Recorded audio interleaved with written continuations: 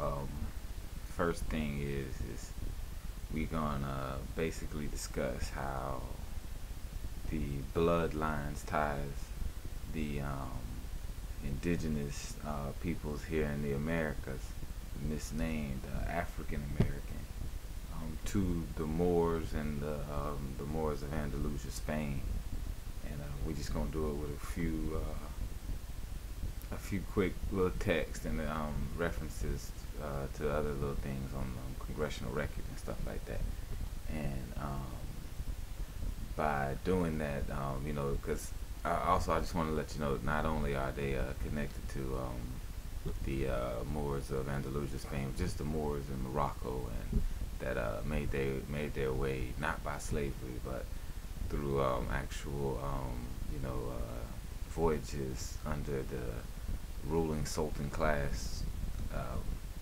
That uh, you know, previous to even um, some of what we would call contemporary history with respect to uh, the 1500s and things like that. So, um, but yeah, you know, this this first little text is, uh, you know, Othello's children in the new world, um, Jose Pimenta Bay, and um, he's, um, he, he, you know, the brother really uh, uh, does a great job at conceptualizing uh, the history of the uh, Moors um, here in America, because you know, it's called the Moorish History and Identity in the African American Experience.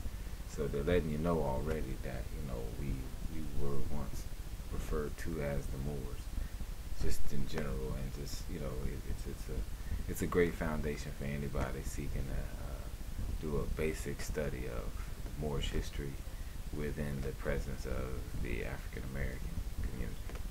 Um, but yeah, I'm, I'm just gonna read from one page of it where it talks about special treatment for and considerations for specified of Africans and Indians.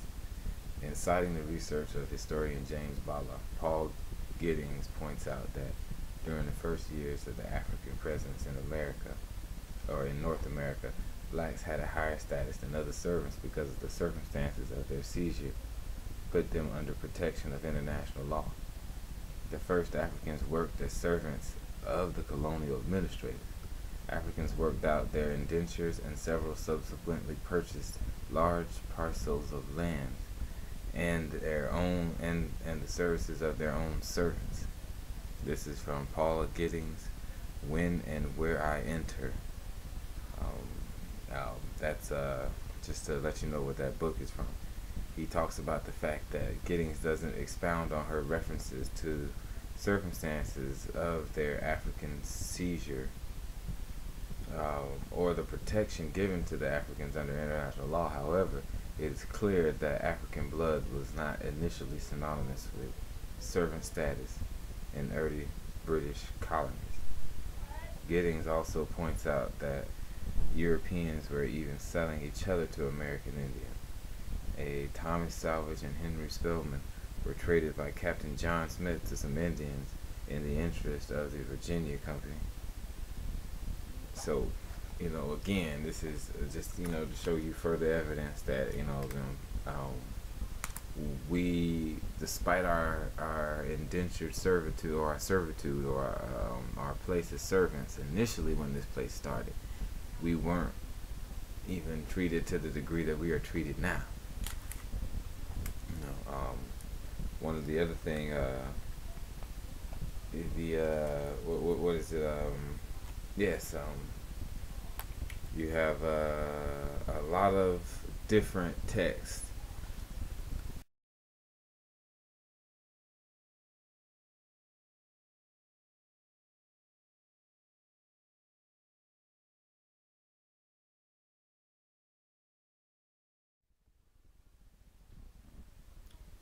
Now, um, you know, another we're gonna get from here is uh, again, this is um, Othello's Children in the New World.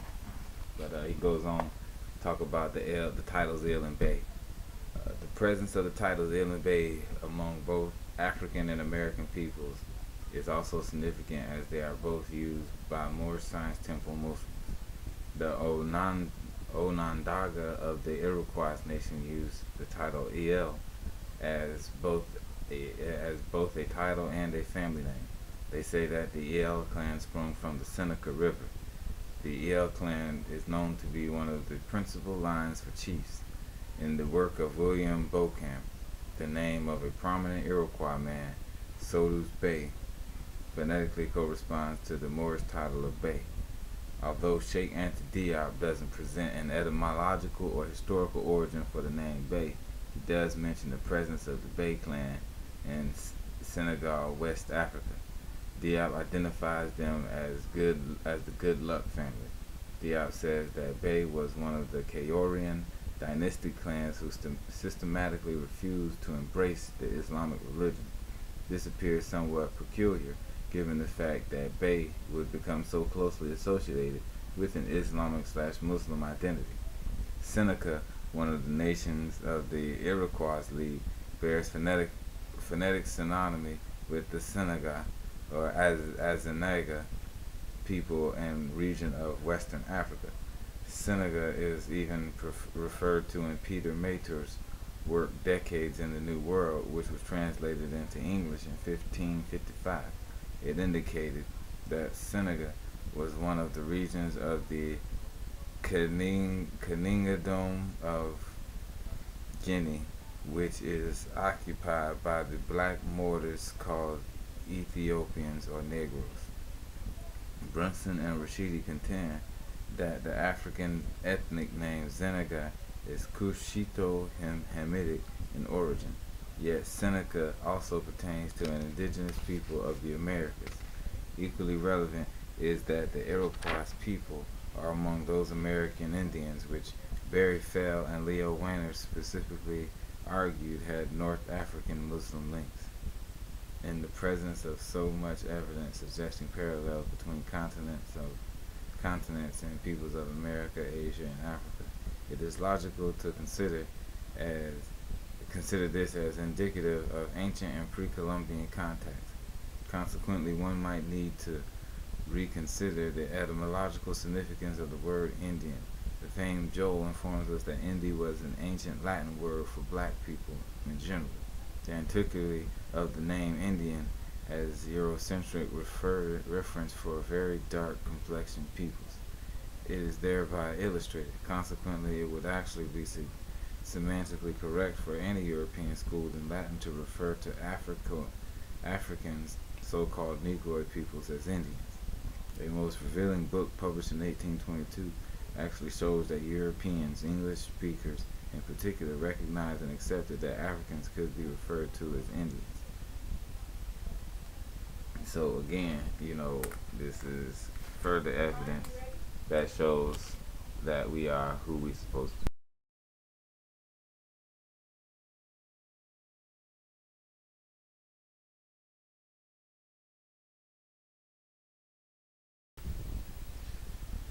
Right, yeah. Now we're gonna get back to a diplomatic correspondence from um, the year 1281, uh, or what we call 1864 over here, and according to the Christian calendar. Um, they talking about basically it's a letter from the United States.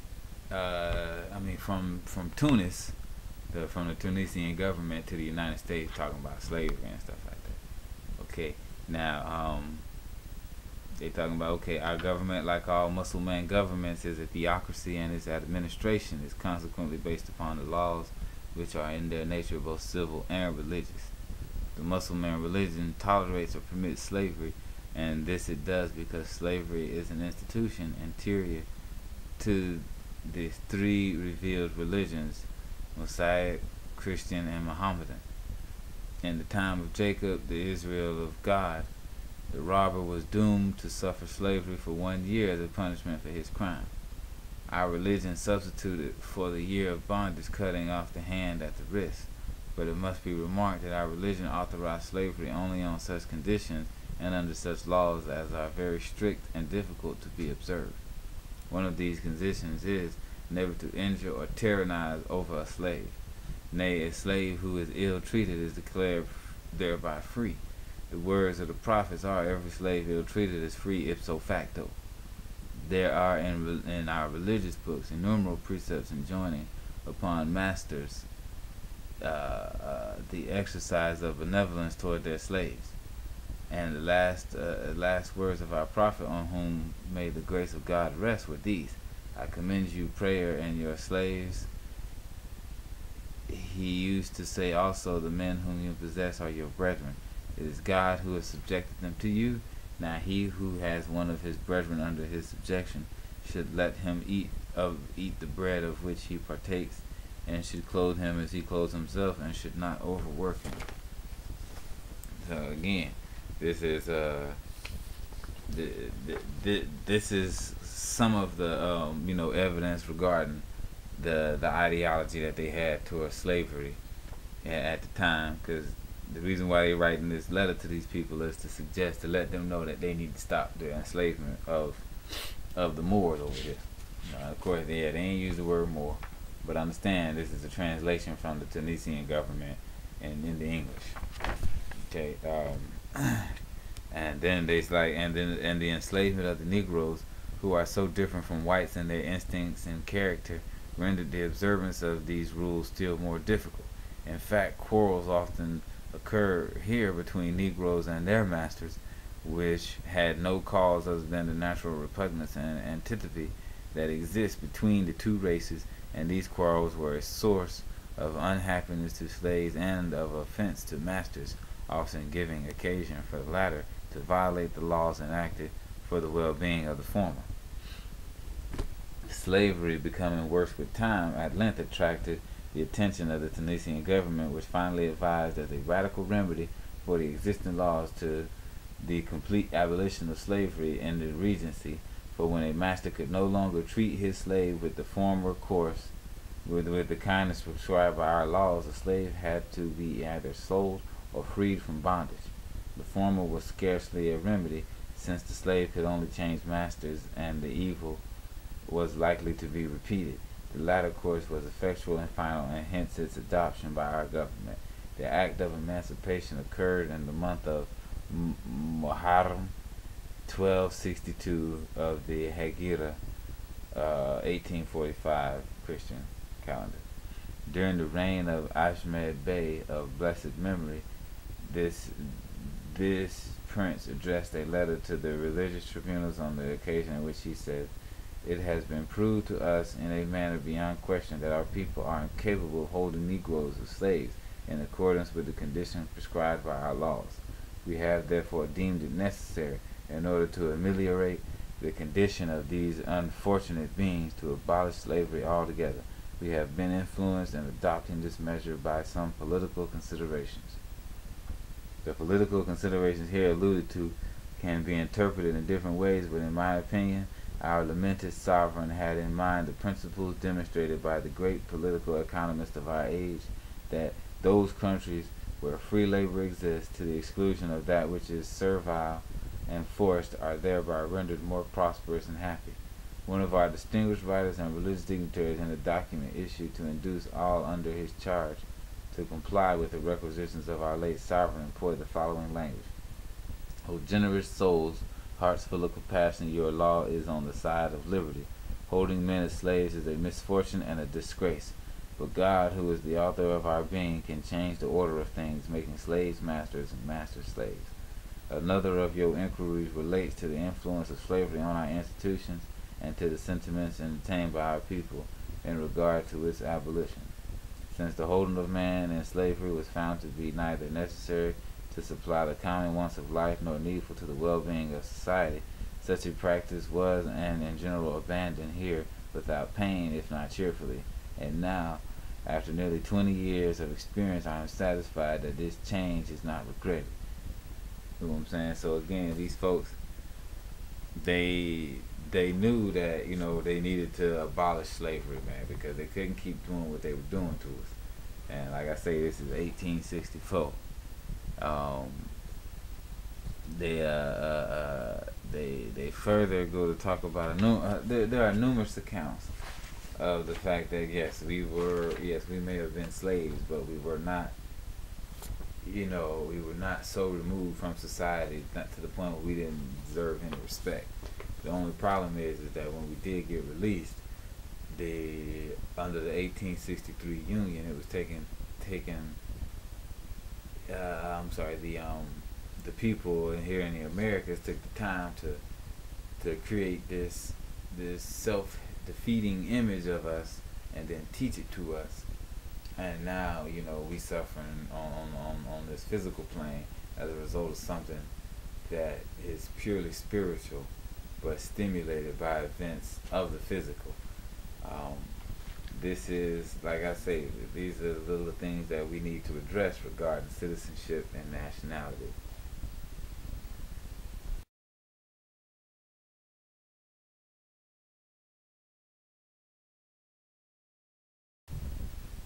another big issue to uh, kind of bring up here is uh, the fact that you know the uh, this is a letter from Tunis, uh, June 17, 1865.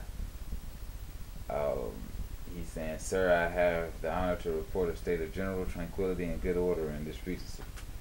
Uh, domestic, the domestic difficulties which were so serious last year seem to be fully overcome."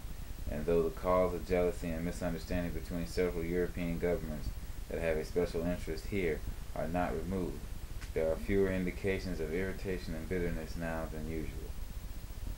Okay, and now uh, the basically it's a, it's about the Bey of Morocco, and um, one of the things that they talk about is the fact that the Bey is, I believe, sincerely interested for the abolition and for the establishment of peace in America, but in his expressions of interest, he evidently avoids any expression that might prove distasteful to his neighbors. Very respectfully, your obedient servant, Honorable William Hunter, acting as Secretary of State, you know, Washington D.C. Yeah, it, it's just um the, the it, again, it just goes to show you that you know a lot of nations were on our side with respect to wanting to see us as free. It's just that the means that by how we got free or the laws that made us free, supposedly, they weren't exactly in our best interest in a legally. They were written in a legalese fashion that did not allow us to fully enjoy. That doesn't allow us to fully enjoy the bands of freedom. Because again it deals with us not having a nationality or them not wanting to recognize our nationality. So um, now you uh, the other the other issue to be really look, really to be looked at again is the fact that um, okay um, we got a letter. This, this next letter is uh, from Morocco to the United States government, letting them know that they will not receive the Confederate States in any of their ports. Okay, now uh, this one is an 1860.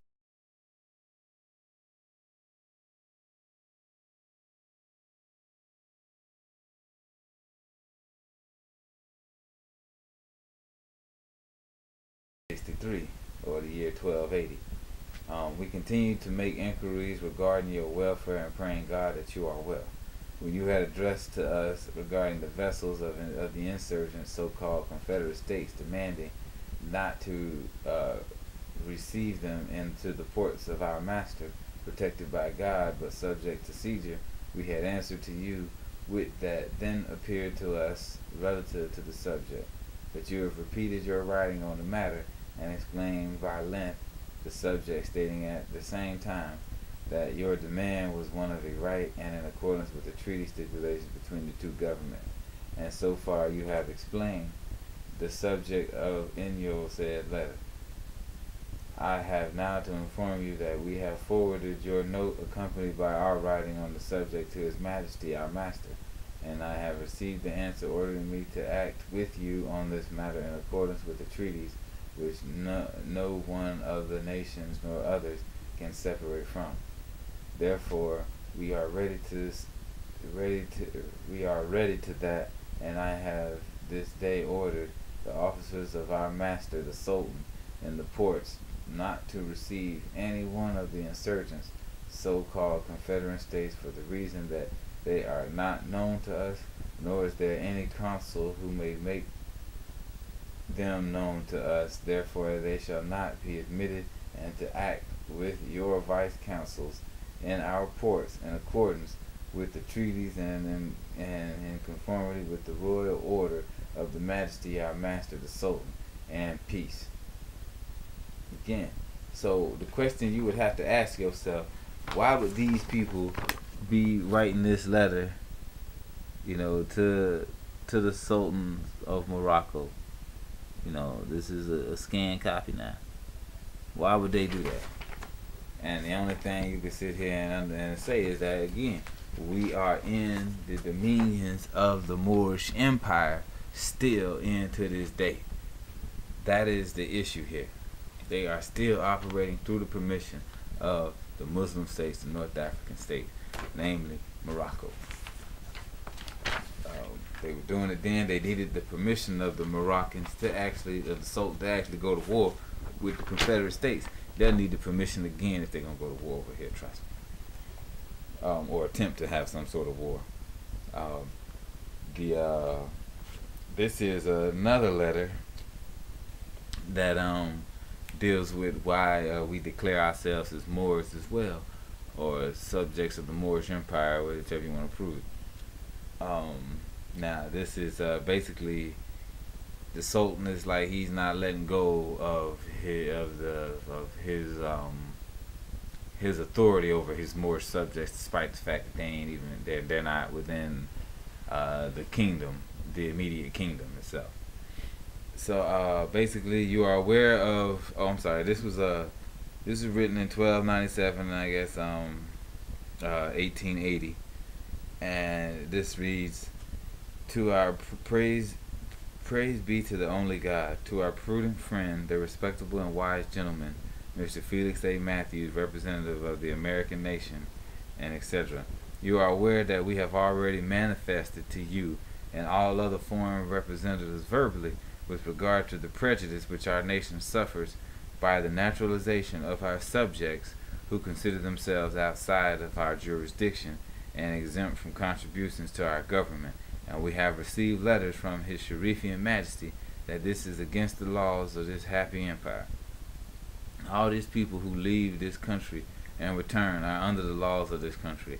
And now, since this prejudice still exists and these people are still protected, we ordained, we are ordained by His Sharifian Majesty to renew our demand, wherein He has His rights, and the following are the text and words of His Majesty's letter, conforming, our, confirming our former letter relative to the naturalization to be communicated to the foreign representatives at Tangiers that the laws of our happy empire do not permit that our subjects, either Moors or Jews, should change their nationality for another, and that notwithstanding this, that prejudice still exists, now we are going to write to our governors not to recognize all this, as the rule of our country is not to, uh, as not to recognize either passports or certificates of naturalization, and we ordain you to renew this matter before the foreign representatives before we address ourselves to our to our nations.